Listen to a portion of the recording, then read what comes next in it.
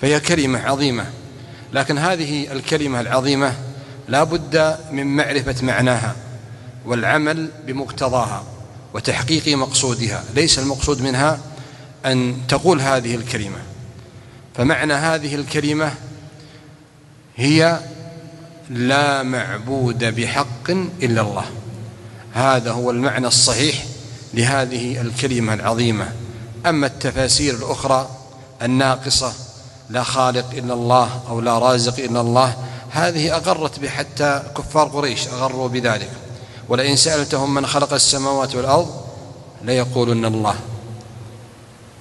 وبعض المتكلمين يأتون يقولون لا صانع إلا الله أو يقولون بعض أهل البدع والضلال إخراج اليقين الفاسد من القلب وإدخال اليقين الصحيح. لا خالق لا رازق لا مد هذه كلها تفاسير باطلة.